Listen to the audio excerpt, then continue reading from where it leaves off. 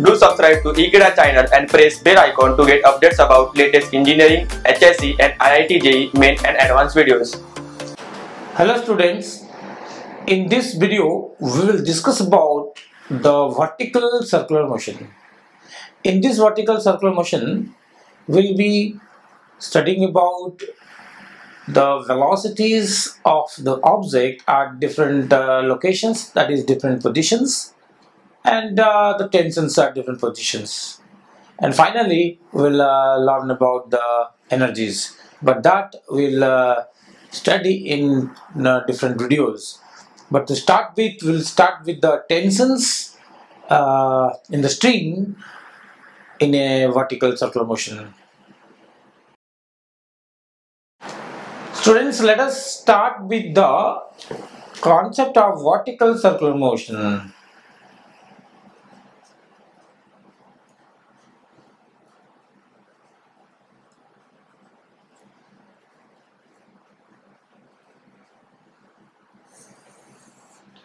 vertical circular motion.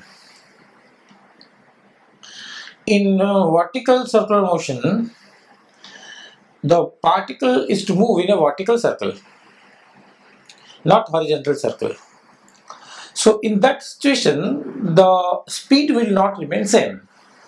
In horizontal circular motion you can keep the speed same but in vertical it is difficult to keep the velocity same because when the body is moving up against the gravity the speed will decrease. And from top position to the down position when it comes from the top to down then uh, speed will increase. So speed is increasing or decreasing so it is not a case of uniform circular motion. It is a case of non-uniform circular motion. So in a vertical circular motion let us say that this is the circle and uh, this is the center. The object is supposed to be a stone. This is the object which is supposed to be a stone. This is supposed to be a string. Tied to the stone. And uh, the string is hurled about this point center in a vertical circle. That means I hold uh, the string and the stone is there and I keep it moving in a vertical circle. Like this. So in that situation as the stone or the object goes from this is the ground level I suppose this is the best level this is the reference line where the potential energy is zero and as it moves against the gravity this is the situation when the object is uh, completing one quarter of the revolution. And this is the position when it completes half the revolutions. When it is at the top position this is the highest point and this is the lowest point. This one is the midpoint of the circular motion. And uh, this uh, length is the length of the string L suppose or you can say that this length is the radius so I can take R also. M is the mass of the object. Moving in uh, this sense uh, anti-clockwise suppose. In this anti-clockwise sense. Now we have to find uh, the critical condition for the body to complete the circular motion what minimum velocity you provide here at any position so that it just completes the vertical circular motion. That means we need the minimum velocity at a given place so that uh, the body performs vertical circular motion. At the beginning we'll uh, study about the tension in the string. So let us suppose find what is the tension at the lowest point, highest point and any other midpoint. So let us find that. If I think of this point, highest point, this is the object and I will draw all the forces acting on it. This object is pulled down by earth, mg the gravitational force will act and because this is a string so there will be also tension in the string the tension in the string is also downward. Is tension T at the highest point, TH. TH is the tension at the highest point. Obviously, this tension is different. Now, these two together provide centripetal force. If the body is moving with certain velocity, say VH, velocity at the highest point, VH, then we write that the, uh, the necessary centripetal force, that is M, which is the mass of the object, this V, mv square over this r is a sum of these two forces so tension at the highest point I want right.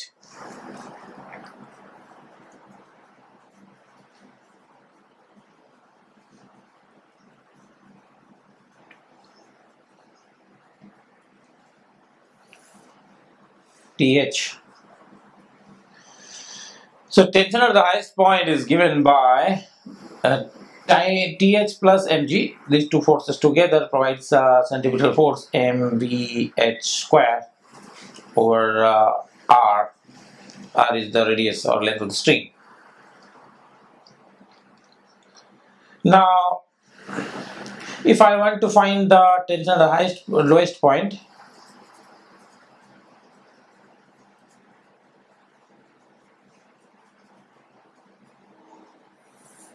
then TL because I can write like this. In this situation at the L situation tension will be up and the weight will be downward always like so.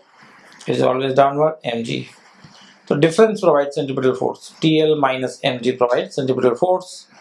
So I'll write uh, TL minus mg centripetal force or uh,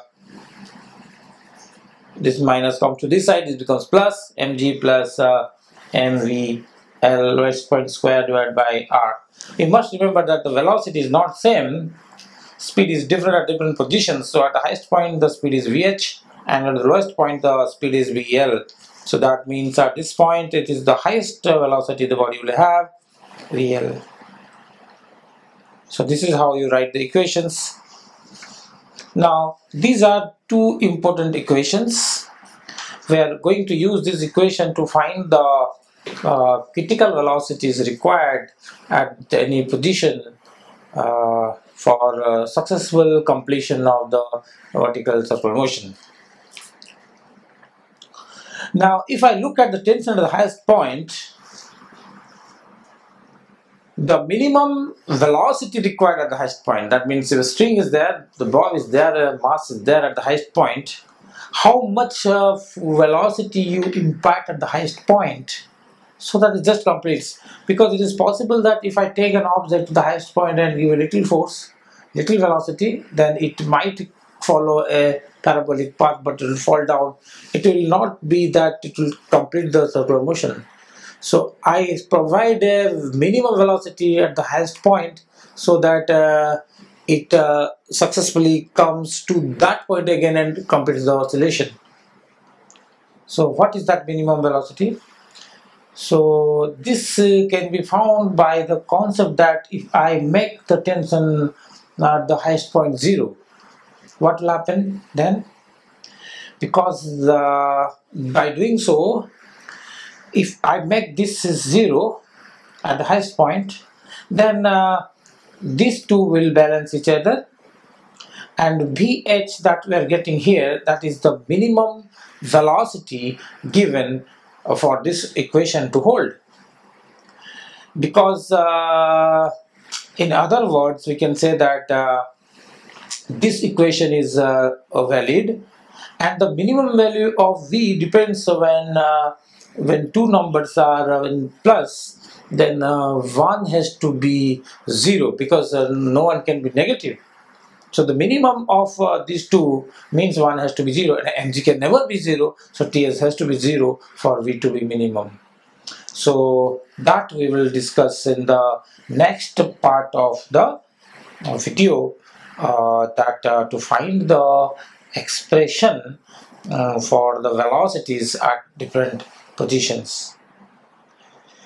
Depending on that, uh, we'll again come back to the finding the tension expressions, the length expressions. So we using these two equations will uh, find uh, the velocities and uh, energy at different positions. So thank you.